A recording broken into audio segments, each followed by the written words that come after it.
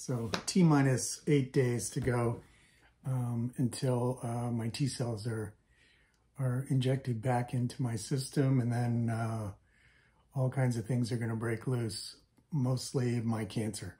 So um, the other day, uh, my pharmacist called me and a bunch of prescriptions were sent in by my oncologist.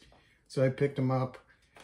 I don't know if you could see them here, but I've received seven new prescriptions that I'll end up taking, some of them before um, the week is out, start taking them.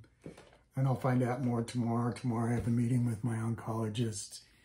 Um, right now, the my um, uh, chemo starts on Tuesday. This is Sunday night. So um, actually Wednesday it starts. So uh, five days ahead of time.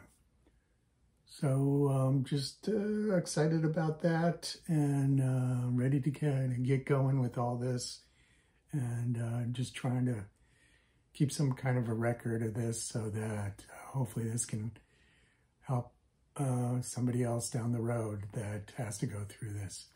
So I'm very optimistic and excited to to start things off, um, but that's it for tonight. Um, tomorrow I'll meet with my doctors and uh, I'll kind of give you a little recap tomorrow.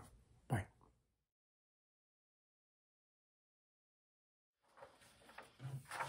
Hey, one thing that I did earlier today as my printer prints is that uh, I printed out copies of my list of all the medications and vitamins and supplements that I take uh, you've probably been through this to one degree or another, but this includes all the new ones that they just added on. There were like seven new medications that I'm taking.